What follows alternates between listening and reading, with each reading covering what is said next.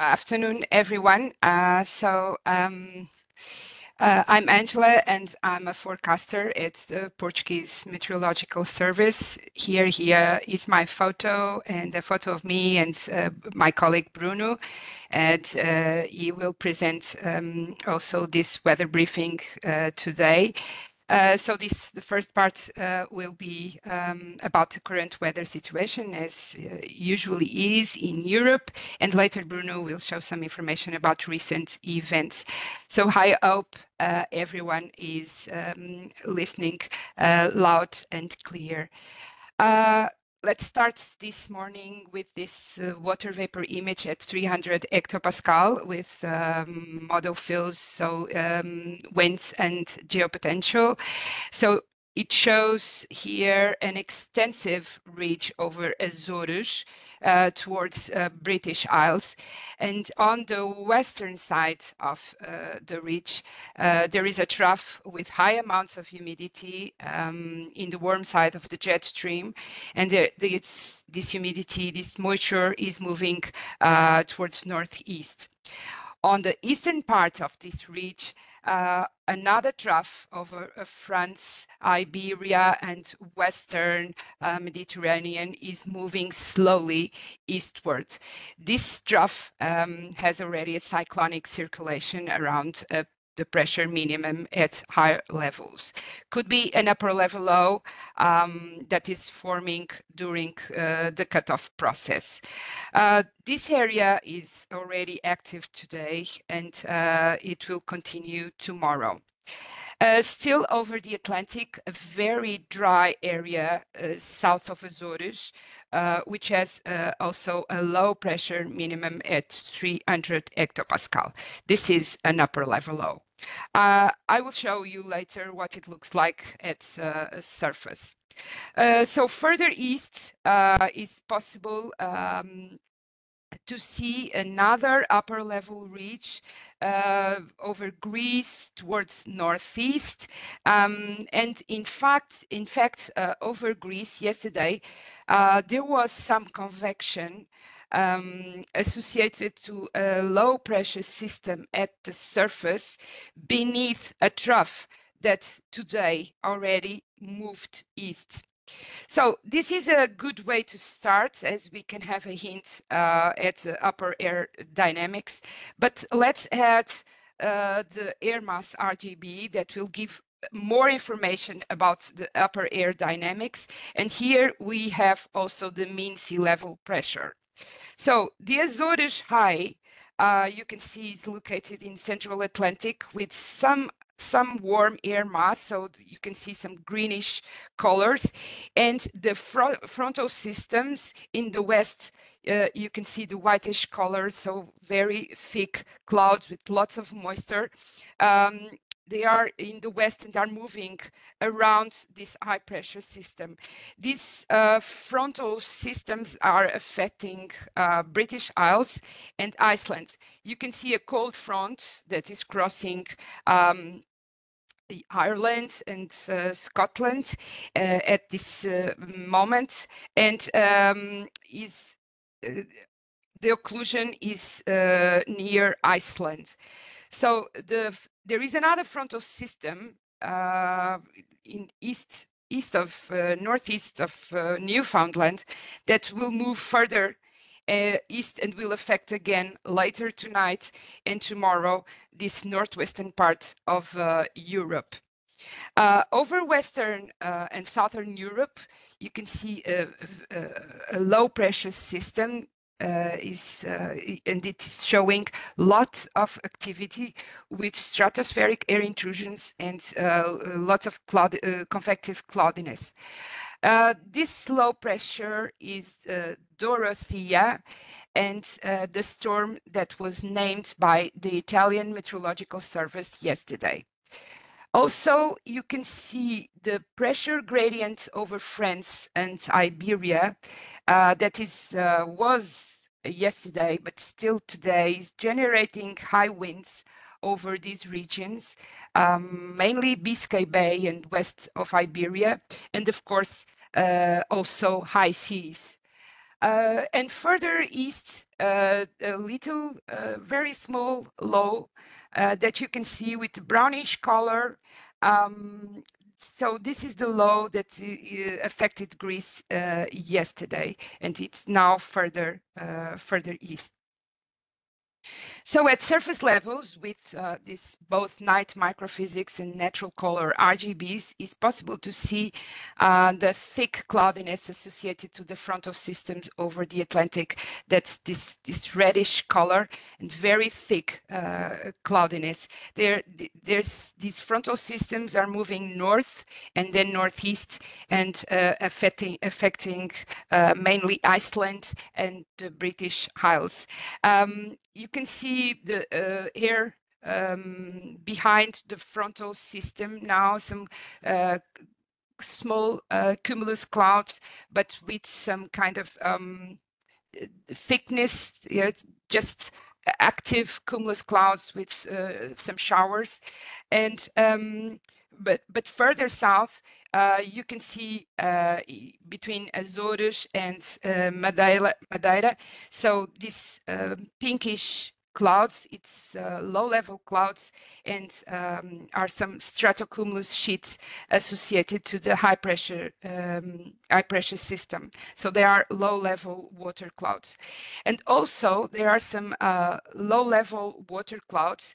Uh, this whitish greenish colors over Denmark, Germany, France, for example, and uh, maybe with some with some fog patches. So very clear the position of the ridge between the two low-level um, uh, low-level uh, depressions, one uh, near Iceland and the other near um, over the Western Mediterranean.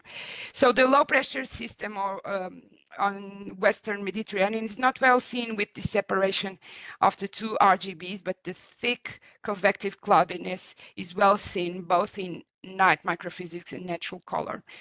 Um, further east with clear skies, it's possible to see snow on the ground.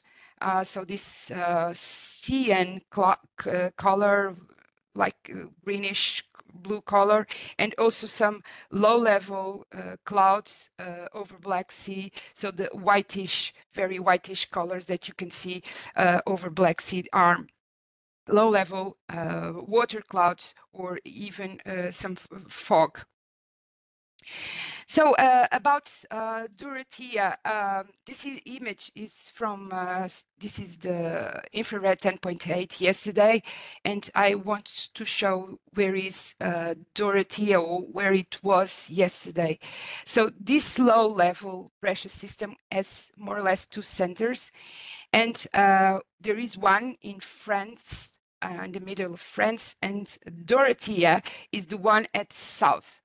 Um, the one it's it's more or less near uh, so northeast Spain and Balearic Islands. So it it, it was a, a, a cyclogenesis there. So the the the in France uh, the the one in over France is dissipating and uh, or was absorbed by Dorothea. So this is was this was yesterday, and uh, still yesterday at nine UTC, uh, 20, 21 UTC, and during this um, during past night, and so today. Um, is at, at 6 UTC, you can see Dorothea become a very active low pressure system with a lot of convection. Uh, you can, can very well see the the stratospheric intrusion with PV, PVA anomalies, and there has been almost stationary. So this is a problem in terms of rainfall amounts. Uh, on the left side, you can see some lightning activity uh, this morning. And uh, also on the right side, you can see the convective rainfall rate from the south nowcast. And um, it shows in fact that uh, there are potential um, for developing storms um, over the sea that uh, reaches the, the land and even in overland. So a very active area and uh, in the next hours. So already this morning, Italian Met Service named another storm Uh, this is a forecast for later today, so uh, at zero UTC, and shows Emil east of Tunisia. So it is a cyclogenesis on the lee of the Atlas, um, Atlas Mountains that will be moving towards uh, the south. Now, moving uh, again over the Atlantic, uh, as I mentioned in the first slide, there was an upper level trough south of Azores uh, with a marked dry area.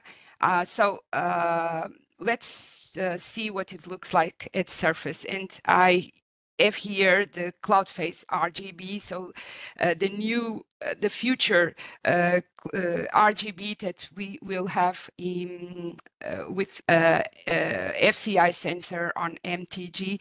So this is only a proxy image of ABI from GOES East, and this new RGB will be um, as I said, uh, available in the future.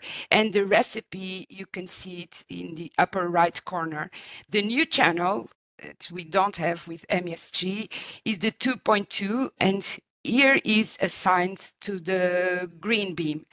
Uh, this channel, uh, the two, uh, near infrared 2.2 is very good at discriminating cloud particle size. So um, in this RGB, we have also the near infrared 1.6, which is very good at discriminating cloud phase. So both here uh, will help discriminate between ice water particles and large and uh, large small uh, particle. So near Azores, you can see um, some magenta colors south of Azores and some white um, white yellowish colors of um, over Azores. So what are these uh, clouds? Uh, so these clouds are water uh, low level clouds and you can discriminate here between the large droplets which are more magenta, and the small droplets, which are uh, this kind of yellowish, whitish uh, uh, colors. So it's very interesting that um, this this this kind of discrimination uh, in, in, in some way can help us to um, uh, to know where are the areas with more chances of rain and um, with with uh, these magenta colors and this discrimination. So you can see the white line is more or less the cold front that crossed the Atlantic on the 25th of February and moved south. And the upper level low that we saw in the first slide is more or less in that position. So no um, we have a, a, high pressure system in this area, lots of subsidence, and we don't have here um, mid-level clouds and uh, high-level clouds. And besides all the activity that Dorothy, uh, Dorothea uh, is bringing to Mediterranean, uh, it's possible also to see some dust uh, north of Sicily uh, today at 7.30 UTC. And uh, in fact, the forecast for tomorrow is of high values of dust, dust AOD, so aerosol optical depth, and also with this, the help of the storm Emil so uh, last but not least, this was an overview what is happening um, over Europe today, but uh, of course the, the, low pressure system um, in the Western Mediterranean is uh, really uh, um, important for today. Uh, so this is a, an overview of weather warnings uh, for today, and most of the warnings are for, for Spain, France, and Italy, and some in the Adriatic Sea, mainly for wind. So tomorrow, the weather in Iberia is improving, at least the western part, uh, but still severe weather in France and Western Mediterranean. So stay safe if you are in these areas, and uh, thank you for listening. And uh, I will give now the floors to Bruno, my colleague. Thank you. Hi, everybody. My name is, is, Bruno. I work with Angela as a forecaster in um, uh, in IPMA, and uh, and um, today I will start to talk a, a little bit about a coastal event that affected the western coast of Europe. So we had a somewhat stationary uh, high pressure near uh, Azores. Uh, let me just point here with the cursor. So in, in this part, and uh, a low pressure near Iceland. And um, this had, it was a situation that stayed like for for some some days and it originated a large fetch area where the wind blowed predominantly from west to north uh, west northwest uh, and at near constant speed and it generated waves over the Atlantic that uh, propagated over to the western shores of Europe, uh, namely Portugal, Spain, France, and the British Isles uh, were affected by by these by these waves. Uh, we had a red warning uh, issued for various parts of these regions with uh, forecasts of significant wave height higher than 7 meters. And um, in the next slide, we'll look at some scatterometer and altimeter data related to this event. Um, this data usually helps us to validate winds and waves over the ocean and gives us a, a mean to, to also evaluate the information that the models are providing us uh, over those areas and thus uh, if the model is uh, well behaving.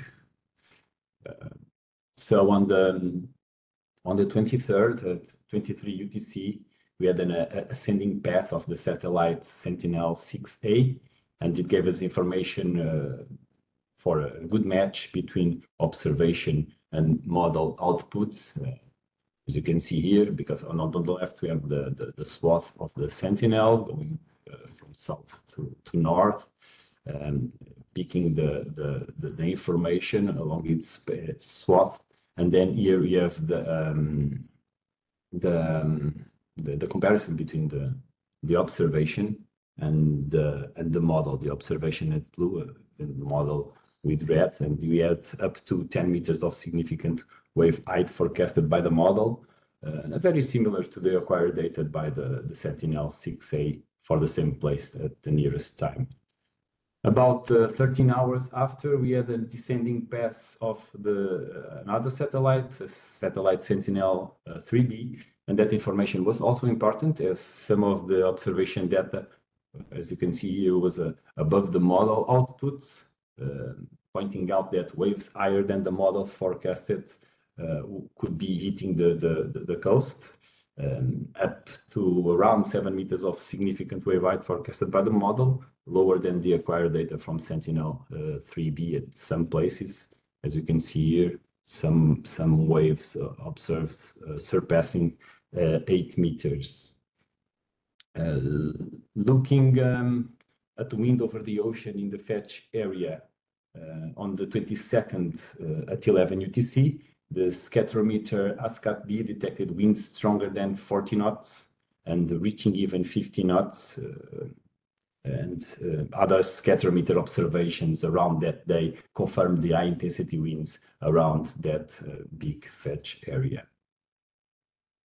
So the forecast uh, days, some days earlier, were, were um, pointing to waves with seven to eight meters in the western coast of Portugal, and the buoys registered values uh, up to around nine meters in, in, in that region. Um, so looking at, um, at, an, uh, at, also this month, uh, uh a dust storm over the, the Canary Islands. Here you can see the, the dust aerosol product from Copernicus, uh, through the EC charts of the ECMWF with high values over the desert and uh, and advecting uh, over the Canary Islands on the 18th of September, uh, February, sorry. Um, and uh, here we can look at uh, four, uh, uh, three RGBs, the natural color RGB, the dust and the HRV RGB, and during the day. And in all of them, it's visible the, the dust cloud over the ocean and over the, the Canary Islands uh, at this time of day, like 16, 15 UTC. So it's uh, very visible through these images. Using the the HRV RGB and the natural color RGB during the day provides a big contrast between the dust clouds and the sea due to the higher reflectivity of the dust particles in comparison to the sea surface. And using the dust RGB, um, we can see the dust in magenta colors, uh, so without high contribution of the the blue and and the red um, bands. Uh, the B the, the blue contribution is high for warm and low clouds like dust, and the red contribution is also high uh, because the long-wave radiation from the Earth surface is stronger absorbed by a dust layer at 10.8 micrometers than at 12 uh, micrometers. And uh, because the brightness temperature difference um, uh, in the green is in the green band is rather small for aerosols like dust, this results in a low contribution of the green band, and so the magenta final color for the dust is obtained. Um, Uh, dust color appears even better on on the natural color RGB near dusk and dawn, as you can see on the left. Um, uh, in this case, the the, uh, the dust time was around 19 UTC, and you can see a large area of dust over the ocean mixed with some some low clouds. And um and and this this better um, obtained uh, uh, visualization of the of the dust uh, is due to the position of the the satellite relative to to the sun. The angle between them becomes wider at this time of day, and therefore Mie scattering is detected by the bands of the natural color RGB, and you can see that increase in dust detection. On the right side, you can see the magenta color Um, over the desert and spreading to the Atlantic Ocean with the highest concentrations of of dust uh, south from the the archipelago of um, uh, of the Canary Islands. Uh, true true color images, in this case from Sentinel-3, um, can also brilliantly capture the event during daytime, especially over water. As you can see here, it's a beautiful image obtained for this uh, event. And uh, here you can also see the effect of the dust cloud appearing better near the dusk as when you when you compare the the 13 UTC and the 18 UTC uh, RGB HRV. Um, and this HRV has just better a better resolution, higher resolution than the natural RGB also. Uh, on the 19th, uh, this was uh, a special importance because the the, dust was less concentrated, harder to detect than the previous day, the 18th, as we've seen earlier. And um, on the right side, we have some some photos. You can see some photos from this day that were kindly provided by meteorologist César Alexandre from AEMET, where it's obvious the dust in the air and and and at low altitudes also. Um, also this month, another event was like a snow event. We had a crossing of a cold surface during the 22nd and another cold surface uh, crossing on the 25th to the 26th of February. It led to snowfall in several places of Europe, especially in uh, the Iberian Peninsula, France, and the Alps. And Portugal uh, experienced an unusual snowfall event uh, with uh, uh, quantities around 30 centimeters in in three days in some places. Looking at this isolated channel, the the VIS 0.6, here we have dark, darker pixels, um, black or gray, representing the sea, the land, and/or um, transparent clouds. And brighter pixels, white, uh, are associated with uh, optically uh, thick clouds and and snow-covered land. On VIS 0.6, there is a low contrast between green and non-green areas, and and vegetation appears with darker pixels, um, and giving a good contrast between the clouds, the snow, and ice with brighter, brighter values. So snow-covered areas here can be mistaken for thick clouds and vice versa. Uh, looking at the VIS 0.8, this is also uh, an isolated channel here, and the main difference comparing it with the, the previous one, the VIS 0.6, is that the VIS 0.8 has lighter shades for land and vegetation, which are dark gray in the 0.6 and light gray on the 0.8. Um, and um, and the VIS 0.8 is uh, especially sensitive to the green color with nice contrast between green and non-green areas. Uh, you can see here some, some of that, the contrast between the lakes and the green areas. And um, if vegetation is photosynthetically active, then it reflects the solar radiation at this wavelength. And we have these brighter pixels, so the clearer images compared to the 0.6.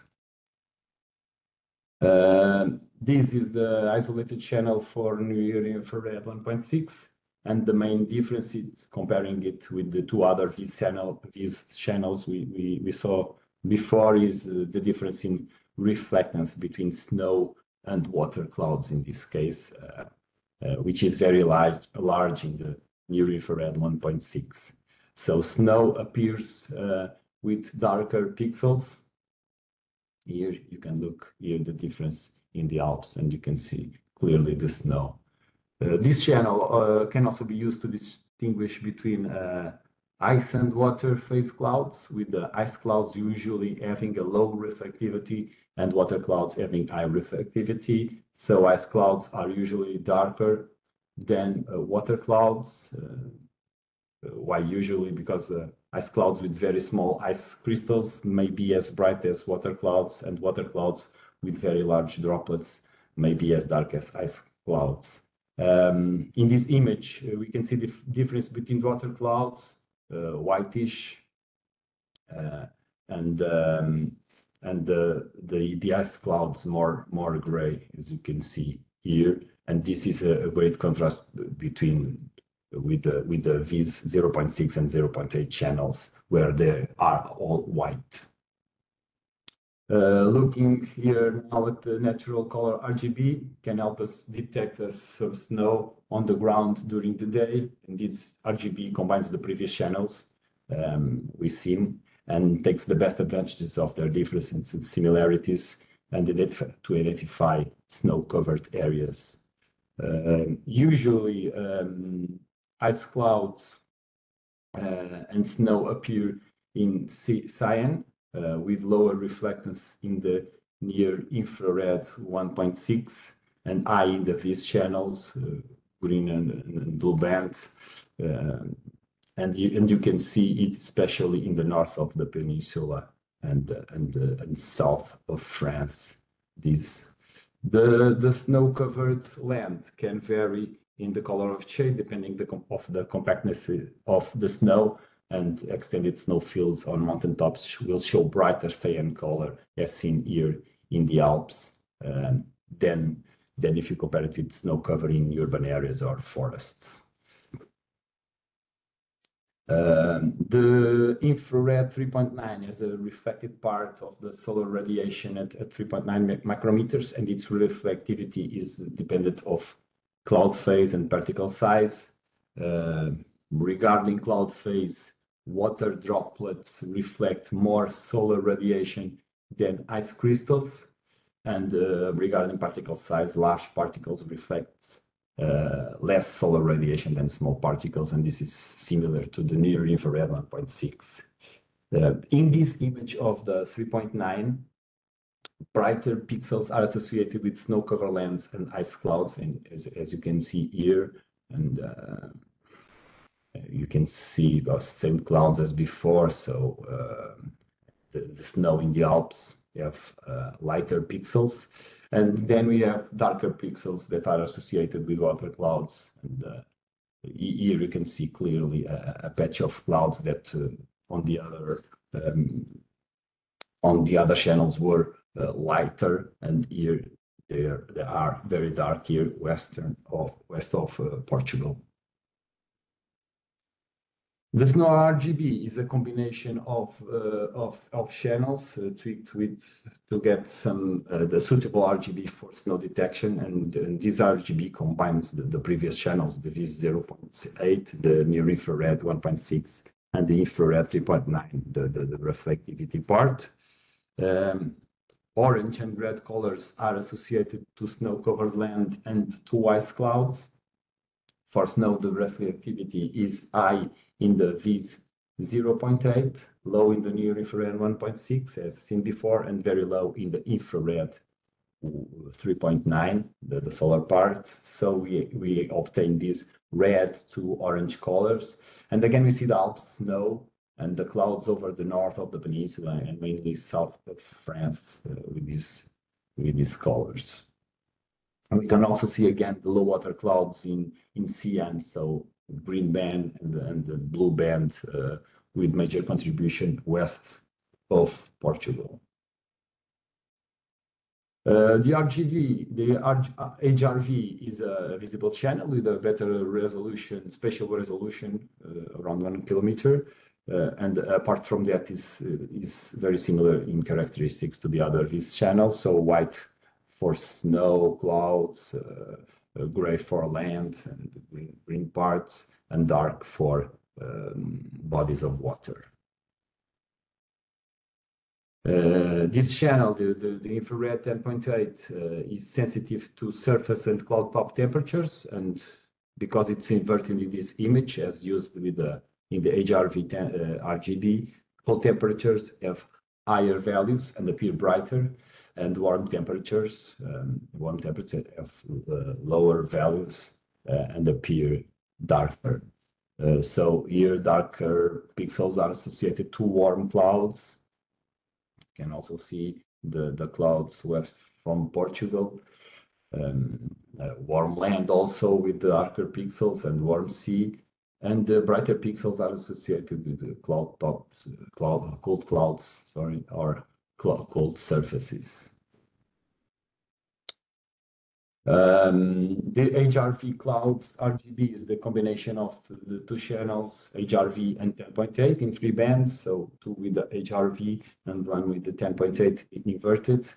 Um, the use of, of the HRV channel in both the, the red and green band strengthens the better resolution in this uh, RGB combination. So in association with the previous RGB combinations, we can use the HRV Clouds RGB better resolution to evaluate some of the extension and other nearby areas covered with the snow. Uh, the white colors are associated with, with um, cold clouds with strong signal in all bands, uh, and the yellow are associated with, with uh, warm clouds, so a strong signal in the red and green, and a weak signal in the uh, blue bands. Um, darker pixels are associated to thin clouds, but very dependent on the surface below, and, uh, and brighter pixels are associated to thick clouds and to snow-covered land. Uh, so it is easier to distinguish between ice clouds and snow.